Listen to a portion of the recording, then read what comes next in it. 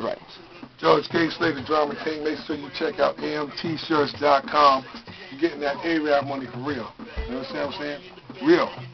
Real.